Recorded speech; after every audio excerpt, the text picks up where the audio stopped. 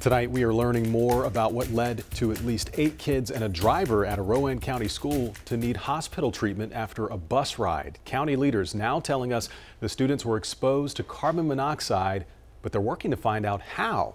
WCNC Charlotte's Kayland Hagwood is live at the Rowan Salisbury School District with the latest. Kayland?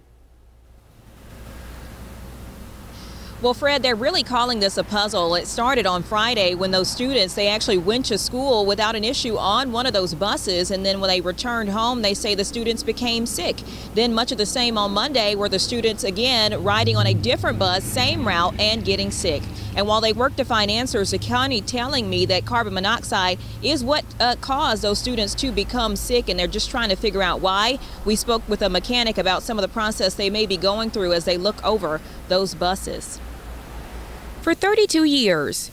I started out my driveway and here I am. Big vehicles have been the business of Jay Helson at his business, Carolina Auto Truck and Coach. We work on fleet vehicles, buses, motorhomes. While there are different kinds of buses, he says a leak could cause carbon monoxide to enter the bus carbon monoxide and a vehicle, we'd have to study hard on the exhaust and look at the uh, maintenance um, records. Though it's still unclear if that's what happened in Rowan County after multiple students and a bus driver became sick on two separate bus rides. The district says they were coming from Hanford Dole Elementary, stopping at this fire station mid route.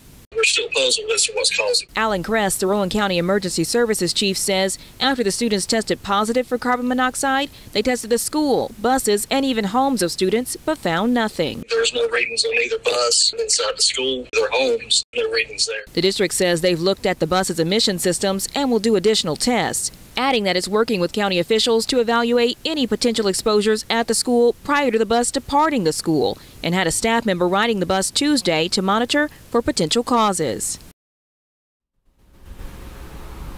Well, just getting in information after that bus ride that happened today, the district telling us again they found no, um, uh, you know, no carbon monoxide on the bus essentially after they did those rides and did those different tests. And as those uh, investigations continue into what exactly is causing these issues, uh, the district is telling us that the students have come home from the hospital and are doing well. Reporting live here in Salisbury, Kayland Hagwood, WCNC Charlotte. Kayland, thank you so much.